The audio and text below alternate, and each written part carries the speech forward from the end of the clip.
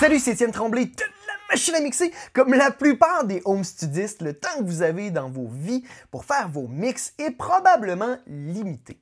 Alors aujourd'hui, j'ai décidé de vous parler de ma méthode de travail, qui est une méthode moi, qui me permet de faire des mix, de mixer une chanson à l'intérieur de 4 à 6 heures. Généralement, si ça me prend plus que 4 à 6 heures pour faire le mix d'une chanson, c'est généralement parce que je n'étais pas très en forme, ça peut arriver, ou parce qu'il y avait vraiment des gros problèmes à régler dans la chanson.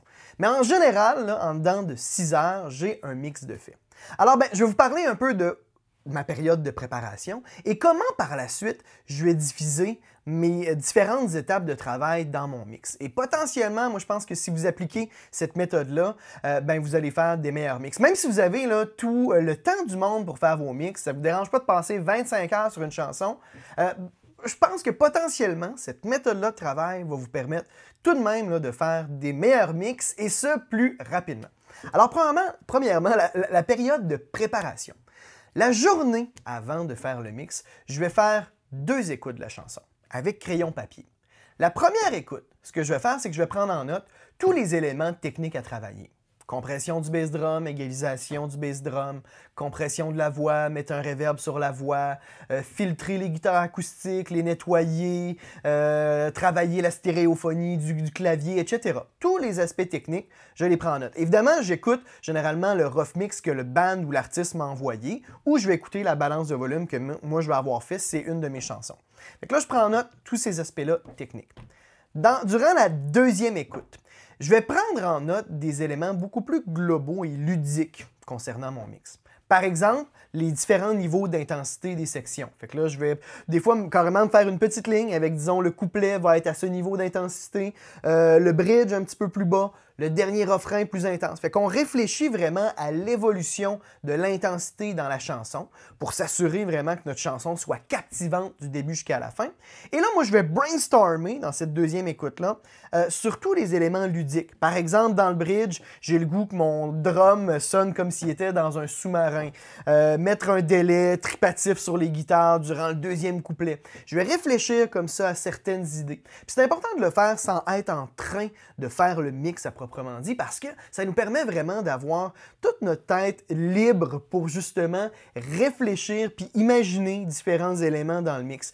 Puis là, ben, vous pouvez vous faire une troisième écoute puis continuer à en rajouter une couche comme ça d'éléments ludiques pour faire évoluer la chanson. Fait que vous n'êtes pas obligé d'être dans des aspects techniques, mais vraiment, vous pouvez carrément parler de couleurs. Disons, le couplet, je le veux bleu, puis mon refrain, je le veux rouge. Déjà là, ça vous donne un petit peu une petite idée au niveau de l'agressivité que vous voulez donner aux différentes sections. Une fois que c'est fait, on ferme le système, on remet ça à demain. Pourquoi je fais ça la journée d'avant aussi? C'est parce que le cerveau a besoin de dormir sur ces éléments-là pour vraiment pouvoir les assimiler dans notre mémoire. Par la suite, c'est beaucoup plus facile de les mettre en application. C'est comme lorsqu'on étudie pour un examen, il vaut toujours mieux le faire une à deux journées avant l'examen, comme ça vraiment tous ces éléments-là sont bien assimilés par la mémoire. J'arrive à la journée de mix, je me refais une première, fais une première écoute en passant en revue mes points. Et ma première étape de mix va tout simplement consister à appliquer ces différents points-là. Fait que je vais faire le travail que j'ai besoin de faire. Puis c'est important de suivre cette liste-là parce que s'il y a certains éléments qui, dans vos premières écoutes, sonnaient très bien, passez pas de temps dessus. Si, vous, si, mettons, vous avez un clavier qui sonne super bien, que dans vos notes, vous avez absolument pris aucune note sur le travail à faire, ben laissez-le comme ça, puis passez à, d'autres choses. Mettez vos énergies ailleurs. Puis des fois, ben ça arrive hein, qu'on n'a pas besoin de travailler certaines sources. Fait qu'on passe en revue ces différents points-là dans la première étape. On prend une pause de 10-15 minutes. Très important de diviser notre travail puis de prendre des pauses.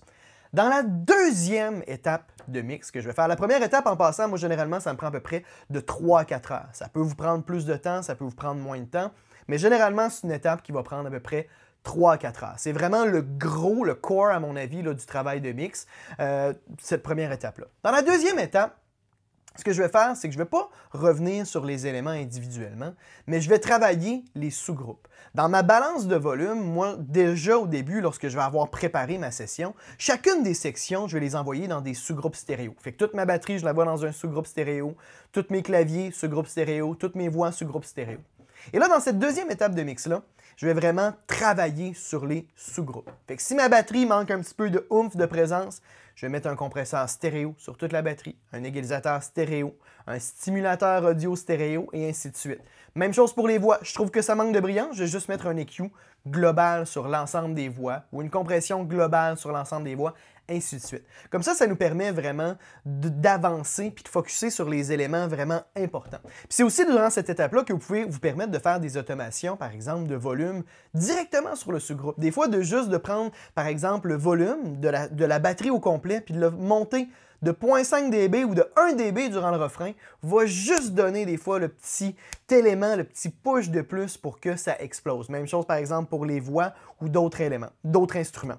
Fait donc, on focus vraiment sur les sous-groupes. Une fois que c'est fait, arrêtez-vous là. Ne passez pas plus que 6 heures, de 6 à 8 heures, disons, gros maximum sur une chanson. Parce qu'après ça, toutes les heures que vous allez mettre, soit vous allez défaire le travail que vous allez faire, soit vous allez travailler beaucoup de temps pour peu de choses. Quand je dis que vous allez défaire, c'est parce qu'à un moment donné, notre cerveau, premièrement, devient très fatigué. On a une fatigue mentale et nos oreilles aussi deviennent très fatiguées. Et ça, ben, lorsqu'on combine ces deux éléments-là de fatigue, ça fait qu'on ne fait pas réellement les choses comme on devrait les faire. Des fois, on va botcher un peu le travail. Autrement dit, on va mal faire le travail, on va bâcler un peu le travail qu'on va faire parce qu'on est rendu un petit peu fatigué. Ou il y a certains éléments, certains problèmes qu'on qu'on ne va pas entendre parce qu'on s'est habitué, parce que notre, cerveau s'est habitué. Fait que moi, généralement, le lendemain, je vais prendre, je vais avoir une période d'à peu près une demi-heure à une heure où là, je vais rapidement régler tous les éléments problématiques. Parce que le lendemain, à tête reposée, si mettons mes voix sont un petit peu voilées puis que je m'en suis pas rendu compte la journée d'avant, je peux vous garantir qu'on va s'en rendre compte rapidement le lendemain puis que là, hop, on met un petit EQ sur, sur le sous-groupe où, on retravaille l'EQ sur la voix individuellement, puis en dedans de 2-3 minutes, c'est réglé, on passe à d'autres choses. Fait que là, comme ça, vous pouvez rapidement refaire un petit petite dernière passe de réajustement sur votre chanson, encore une fois avec euh, la tête et les oreilles reposées. Et je peux vous garantir que vous allez être beaucoup plus efficace si vous divisez votre travail comme ça, à place de faire des grosses sessions de mixage où vous partez vraiment de zéro jusqu'à la fin.